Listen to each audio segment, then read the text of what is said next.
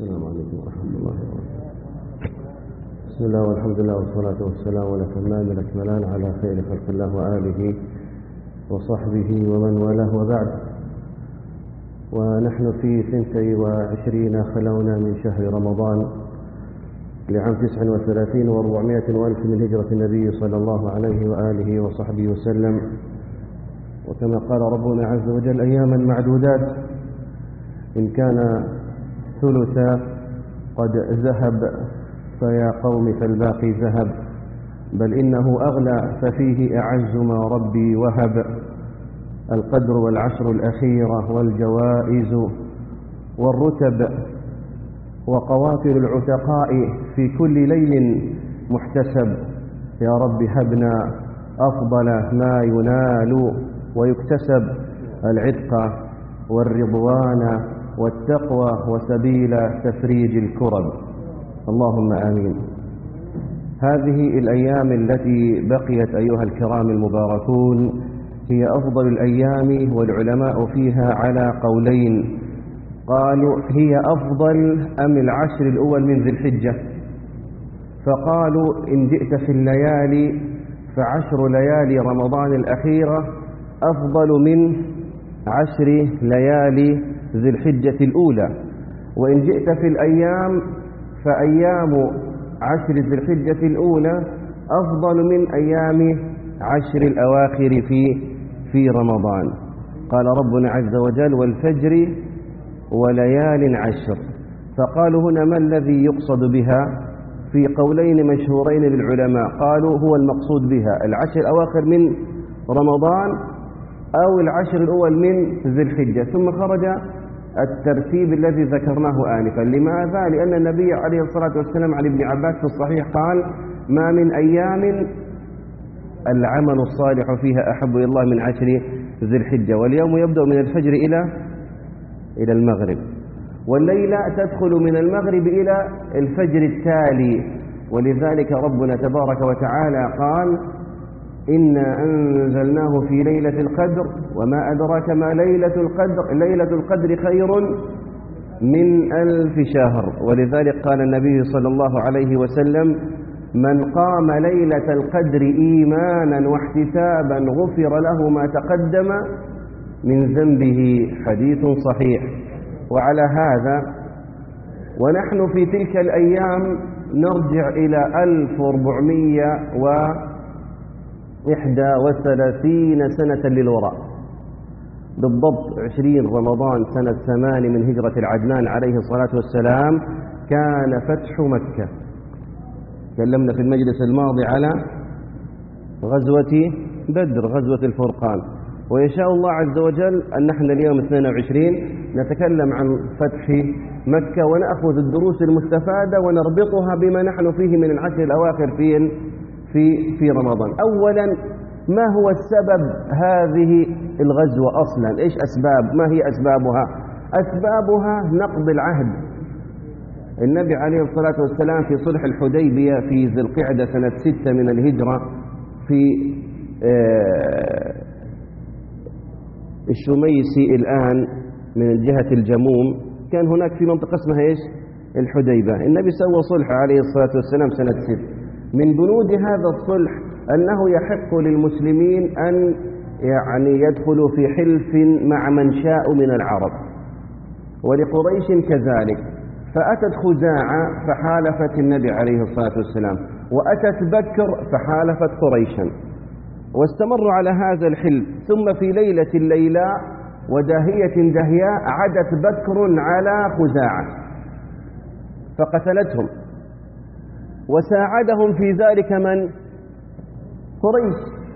ينبغي الآن هم عندهم عهد مع مين؟ مع النبي. وأوفوا بالعهد إن العهد كان كان مسؤولا. عليكم السلام. فقتلوهم.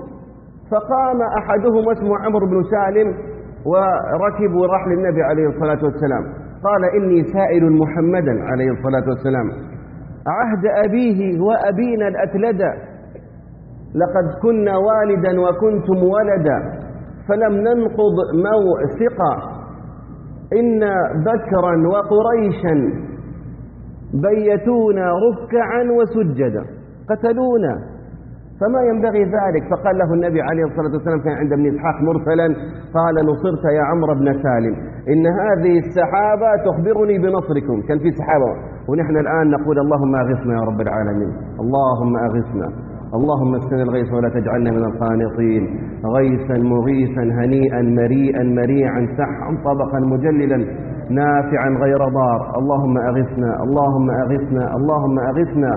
اللهم إن بالبلاد والعباد من اللأواء ما لا يعلمه إلا أنت. اللهم فأنزل علينا رحمتك وغيثك المدرار. يا رب العالمين يا أرحم الراحمين. فقال نصرت يا عمرو بن سالم من هنا نستفيد الآن لما ترى مجموعة من الشباب يخرجون متخنثين بصور النساء. ونحن في العشر إيش؟ الأواخر. مر معنا حديث عظيم حديث أبي هريرة وحديث عمار بن ياسر وحديث رواه سبعة من الصحابة ومالك بن الحويرث عند الترمذي وغيره. رغم أنف عبد أدرك رمضان ولم يغفر له. قل أمين. قال قلت آمين. وفي الصحيحين لعن الله المتشبهين من الرجال بالنساء. الله خلقك في أحسن تقويم سواء كنت ذكرا أو كنت أنثى. وقال ولعن الله المتشبهات من النساء بالرجال. فكيف في تلك الليالي التي الناس تقول اللهم اعنا على ذكرك وشكرك اللهم إنك عفو تحب العفو فاعف عنا تخرج على الملأ والنبي يقول كل أمتي معافى إلا المجاهرين. اللهم تب علينا وعليهم يا رب العالمين. فأنت الآن تنقض العهد مع الله وإذ أخذ ربك من بني آدم من ظهورهم ذريتهم واشهدهم على أنفسكم. على أنفسهم ألست؟ بربكم. والعهد وما خلقت الجن والإنس إلا ليعبدون يعني إيش؟ يعني يوحدون. هذا العهد اللي ربنا أخذه عليك. يا أيها الناس اعبدوا ربكم آية, واحد آية 21 سورة البقرة.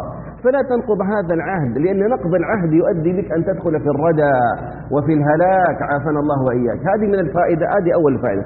الفائدة الثانية أيها الكرام المباركون أن شهر رمضان هو شهر انتصارات على مدى تاريخ المسلمين. ليس شهرا للدعة والنوم بالعكس إنه هو شهر للعمل والإنتاج. والاستمرار في هذا الخير وفي هذا البر وفي هذه وفي هذه البركة. والعشر التي نحن مقدمون عليها يقول أهل العلم من قصر في الثلثين واجتهد في الثلث الآخر خير ممن اجتهد في الثلثين وقصر في الثلث الآخر. ليش؟ إنما الأعمال بال الله أكبر بالخواتيم. وإنك أنت الآن في الثلثين الأول كان النبي يخلط نوما بصلاة. لكن لما يأتي الثلث الأخير يشد المئزر دلالة على اعتزال النساء. ويوقظ أهله ويحيي الليل عليه الصلاة والسلام. يتحرى ليلة القدر صلى الله عليه وآله وصحبه وسلم. ومن هنا قالوا إن أحييت الليل كله ذكرا وعبادة وصلاة فلا حرج. بعض الفضلاء يرسل رسائل في هذه الأيام يقول لك التهجد بدعة. صح جاكم مثل الرسائل. وينسب هذا لشيخنا وحبيبنا رحمة الله عليه أبي عبد الرحمن محمد بن ناصر الدين الألباني رحمة الله عليه رحمة واسعة. ونقول إن هذا القول هو مرجوح من وجوه. الوجه الأول أن النبي لما تكلم عن صلاة الليل لم يحد لها إيش؟ عددا. في الصحيح قال صلاة الليل مثنى مثنى إلى ما شاء الله. أربعين ستين ثمانين. كان بعض السلف له في الليلة الواحدة مئة ركعة. كالحسن بن علي بن أبي طالب رضي الله عنه وعن أبيه. مية ركعة نوافل فقط فلم يحد النبي عليه الصلاة والسلام شيئا. أما قول عائشة ما زاد النبي عن أحد عشر ركعة وثلاثة عشر ركعة هذا فعله عليه أفضل الصلاة وأتم التسليم. وترك للأمة الأمر إيش؟ الأمر في ساعة حتى لا يشق عليهم في ذلك. لقد كان لكم في رسول الله أسوة حسنة. وإن كنت ترى بأنك لا تزيد عن 11 13 ركعة ما في مانع لكن لا تبدع بقية عبادات الناس. الأمر الثاني عمر جمع الناس على أبي بن كعب كما في الصحيح على كم؟ ثلاث وعشرين ركعة. قال والتي ينامون عنها خير منها. يقصد إيش؟ آخر الليل اللي هي يسموها الآن إيش؟ التهجد. والتهجد هو قيام لكن يسبقه نوم. فالتهجد ما هي كلمة جديدة. ومن الليل فتهجد به نافلة لك. فالتهجد هو قيام. يا أيها, المز... يا أيها المزمل قم الليل إلا قليلا. لكنه يسبقه إيش؟ هجود يعني يعني نوم أيها الكرام الباركون الأمر الآخر أسعد الله وإياكم بطاعته. لما لما يقول لك عائشة وكان يعني يحيي الليل يحييه كله بالعبادة عليه أفضل الصلاة وتم التسليم. فلا مانع أنك تقسم الصلاة وتصلي قليلا وتنام. وخير القيام قيام نبي الله داود. كان ينام كان ينام نصف الليل ويقوم ثلثه وينام سدسه. بل قال بعض الفضلاء في قوله وبالأسحار هم يستغفرون قال تلك سنة تغيب عنا ونحن في رمضان غالب الناس يصحى لحد الفجر. صح. فاجعل لك في السحر إيش استغفار وبالأسحار هم كان ابن مسعود يصلي الليل فإذا بقي على الفجر قليل جلس يستغفر. عشان يجمع ما بين إيش؟ كانوا قليلا من الليل ماء يهجعون وبالأسحار هم يستغفرون. يجمع ما بين القيام وبين الاستغفار. في تلك الغزاة النبي صلى الله عليه وآله وصحبه وسلم بأبيه وأمه ماذا فعل؟ لم يخبر عن هذه الوجهة اللي هو خارج لها يوري بها. أنتم رأيتم الناس الآن. كل ما واحد بر بوالده صور سنابه ونزلها. كل واحد صلى صور سنابة عند الشيخ وأنا بقوم لحد الفجر صلى يختم تعالوا. يا رجل استخفي بعملك يا رجل. عن الزبير بن العوام عند الطبراني من كان له خبيئة من عمل صالح فليفعل. خلي بينك وبين الله إيش؟ خبايا. حديث ابن عمر في الصحيح سبعة يظلم الله في ظل يوم لا ظل إلا ظله. ورجل تصدق بصدقة فأخفى حتى لا تعلم شماله ما تنفق يمينه. ولقد كان بعض السلف يقوم الليل امراته ما تعرف يظل يهدهدها حتى تنام ثم يقوم منها. والنبي فعلها في مرة عليه الصلاة والسلام. نامت عائشة فقام نصب قدميه. فقامت عائشة تدور عليه في الغرفة ما وجدته إلا ناصبا قدميه. ساجدا يقول اللهم إني أعوذ به رضاك من سخطك وبمعافاتك من عقوبتك وبك منك. لا أحصي ثناء عليك. يبكي فبل لحيته حتى بل الثرى عليه الصلاة والسلام. فاستخفوا بالعبادات أيها الكرام الرحيم من الفوائد أيضا في تلك الغزوة جزاك الله مو محتاج بقى تشتغل لي تبعت لي في سناب وتويتر وتليجرام. عرفت الأمة كلها أنك أنت بتصلي يا أخي. ما يحتاج مثل هالأمور جزاك الله خير. خلي بينك وبين ربك عز وجل. أحد السلف كان عينه إحدى عينيه طافية أصابه فيها مرض عميت عشر سنين حمة ما تعرف. مش الواحد إذا تعود كده يصور سناب شوفوا رجلي لا تنسوني. ريحنا يا رجال. أتعبتونا والله العظيم هذول حقون ورعان السناب هذول وكل واحد مطلع له. سنابه يقوم يرصف ويرصف ويقص ويلصق من الواتس ويقعد يبعث إيش؟ يبعث للناس. تقميش ولا وليس تنقيش وأغلب أحاديث باطلة وموضوعة. ولا ينقش قبل أن يقمش. يجمع يجمع ويرسل كحاطب الليل. يحمل عصا يحمل ثعبانا يحسبه حطبا فإذا هو ثعبان يلدغ الله يعافينا وإياكم. فنحتاج إلى الهدوء. كيف كول شوية الله يرضى عليك. ما في داعي مثل هاللي مسوينه الناس. أيضا من الفوائد هذه في تلك الغزاة. أيها الكرام الباركون العفو. العفو والصفح سبحان الله النبي أهدر دماء تسعة من الكفار. ابن خطل وابن هبير وفلان وفلان وإلى غير ذلك. ولم وعبد الله بن سعد بن أبي سرح. النبي جاب عثمان للنبي عليه الصلاة والسلام. اعفو عنه يا رسول الله. اعفو عنه يا رسول الله. وكمان عكرمة بن أبي جهل أتت زوجه وشفعت له عند من؟ عند النبي عليه الصلاة والسلام. فهذه أيام عفو يا أخواني. بينك وبين أخيك شحناء. خلاص سامح يا رجل. سامح. قال صلى الله عليه وآله وصحبه وسلم. ألا أدلكم؟ حديث صحيح. على ما هو خير من الصلاة والصيام والصدقة. اسمع يا حبيبي. قلنا بلى يا رسول الله. قال إصلاح ذات البين قال إصلاح ذات البين الله أكبر. الله عز وجل قال لا خير في كثير من نجواهم. إلا من أمر بصدقة أو معروف أو إصلاح بين الناس. تلاقيتم تلاقينا فلا قلتم ولا قلنا ولا بنتم ولا بنا وإن كان من عتبى فليكن بالحسنى. وخيرهم الذي يبدأ بالسلام. ما في داعي خلاص ارحم يا رجل. النبي يا أخي عليه الصلاة والسلام في واحد منهم أسقط زينب من على البعير. هي وراح إلى النبي عليه الصلاة والسلام نقص البعير فأسقطها وكانت حاملا فأسلبت. توقع واحد يسويها في بنتك هذه. الله لا يورينا ولا يورينا. بالله تسامحه والنبي سامحه وعفى عنه عليه الصلاة والسلام. سامح يا أخي المسامح كريم إن شاء الله عز وجل. وخيرهم الذي يبدأ بإيش؟ الذي يبدأ بالسلام صلى الله عليه وآله وصحبه وسلم. وما أرسلناك إلا رحمة إلا رحمة للعالمين. أيضا لما جمعهم كلهم في مكة وقال ما تظنون أني فاعل بكم؟ حديث مرسل. قالوا أخ كريم وابن أخ كريم. قال اذهبوا فأنتم الطلقاء. أروحوا خلاص سامحناكم. مع أن هم الذين هم الذين آذوا النبي 13 سنة وألقوا سل الجزور على ظهره وكسروا رباعيته وشجوا وجهه. ومع ذلك كله النبي يقول اذهبوا. فأنتم الطلقاء خامسا عدم انتهاك حرمات الله عز وجل. قال النبي صلى الله عليه وسلم لما قال هذا يوم يوم الملحمة. سعد بن عبادة قال النبي كلا إنه يوم المرحمة يوم تعظم فيه الكعبة. قال هذا يوم مرحمة ما هو يوم ملحمة؟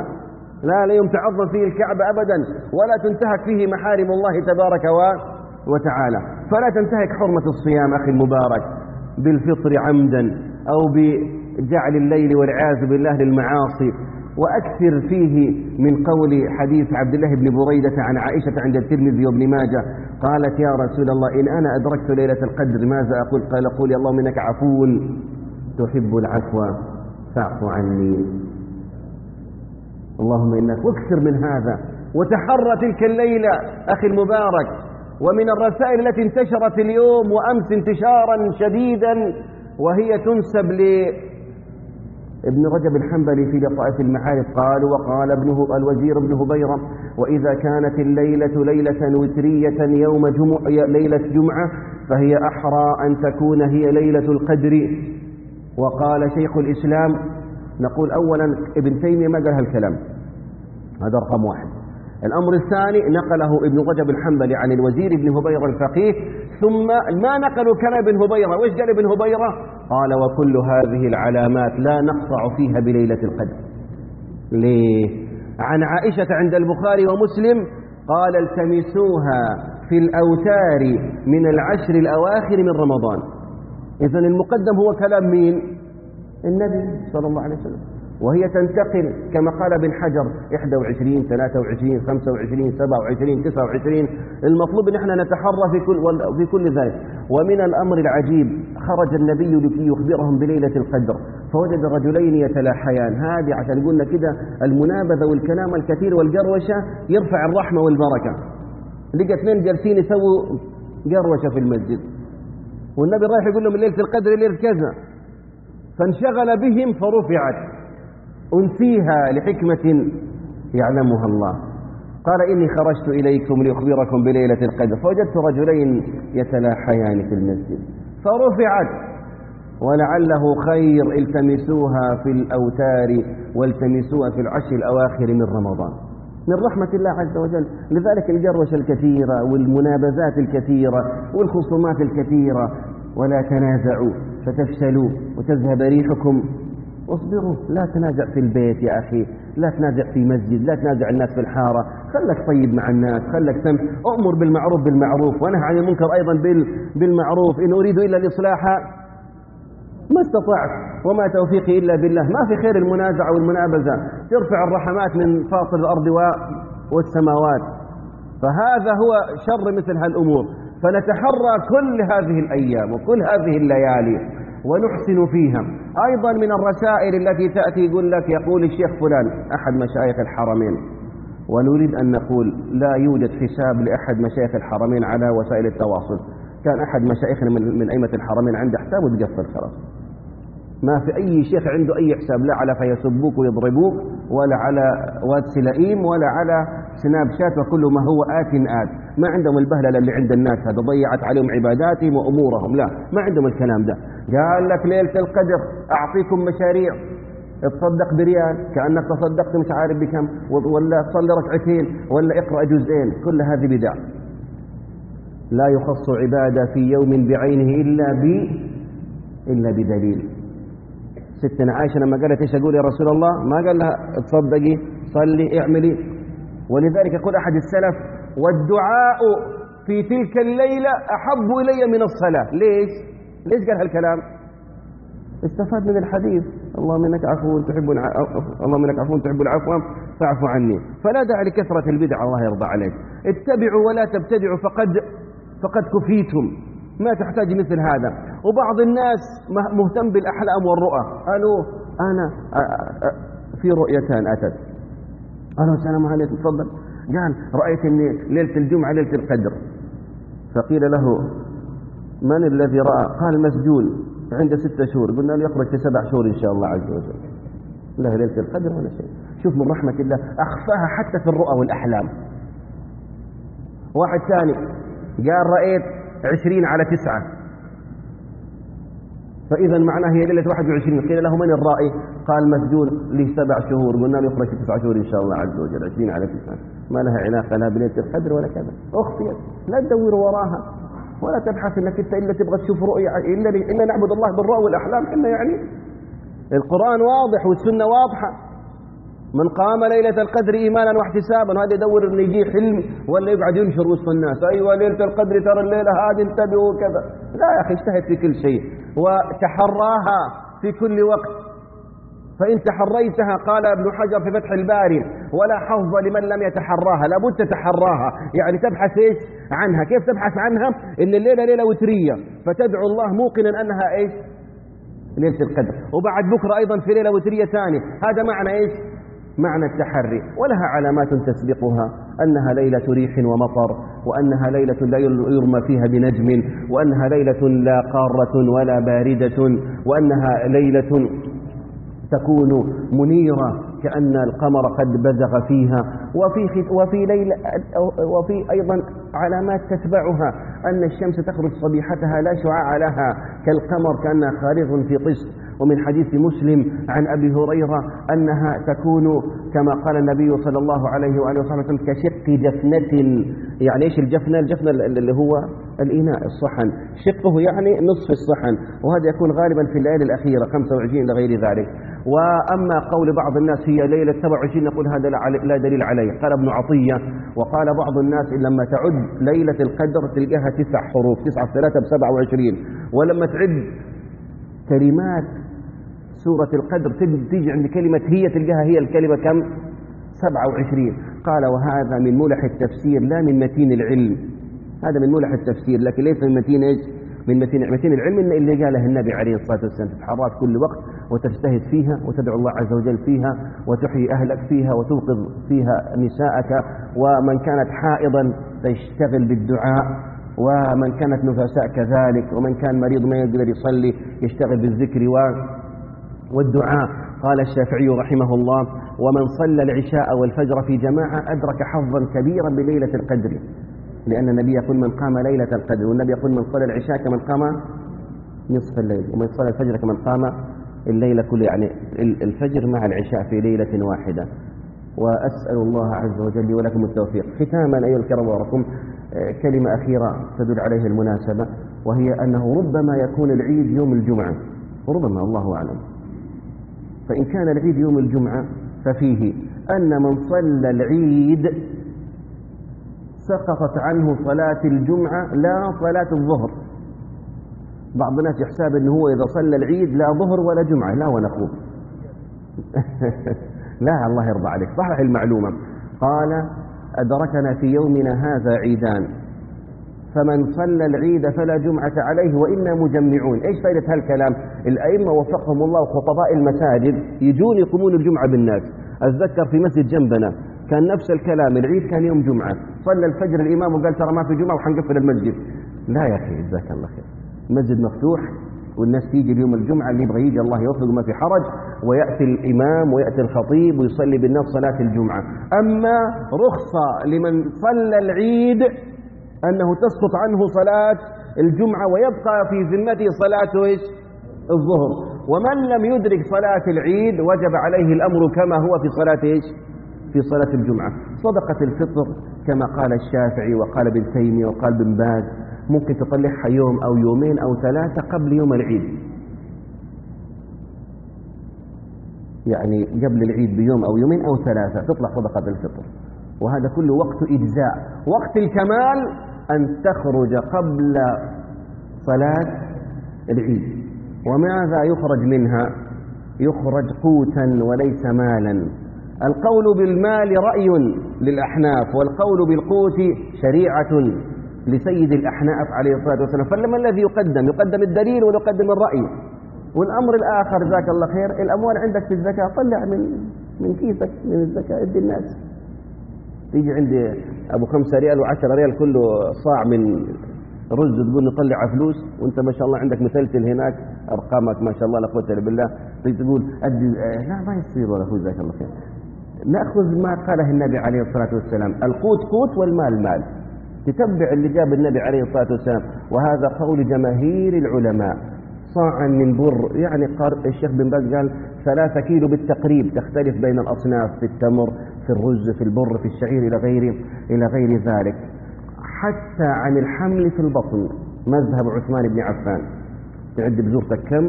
تضرب في ثلاثة وتطلعها للفقير. القصد منها أن يكفى الفقير في ذلك اليوم السؤال. وقيل لكل من ملك ما زاد عن قوت يومه. ومصارفها في شخص واحد اللي هم الفقراء. هم لمن؟ للفقراء. ومن أخرجها بعد صلاة العيد فإنما هي صدقة وليست إيش؟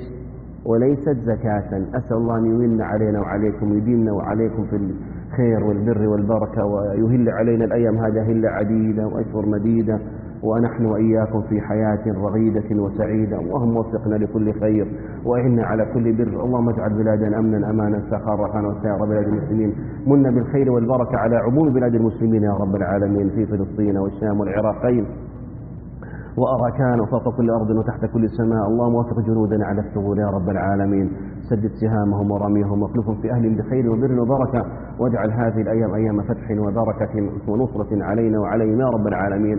وفق ولاة أمرنا لما تحب وترضى وخذ بنواصيهم إلى البر والتقوى. اللهم ارحم آباءنا وأمهاتنا. اللهم ارحمهم رحمة واسعة. من كان حيا طول عمرة في الطاعة من كان ميتا فاجعل مثواه جناتك جنات النعيم. اللهم اغفر لأهل هذا المسجد ولأهل هذا الحي يا رب العالمين. اللهم اجعل بيوتنا وبيوتكم بيوت خير وبر وبركة. اقض عنا ديوننا. نفس كروبنا اغفر ذنوبنا. واستر عيوبنا. وجلل بالحجاب نساءنا. اللهم تم الكلام وربنا المحمود وله المكارم والعلا والجود. ثم الصلاة على المصطفى محمد صلى الله عليه وآله وصحبه وسلم. ما لا حق وورق وداخل دعوانا. أن الحمد لله رب العالمين.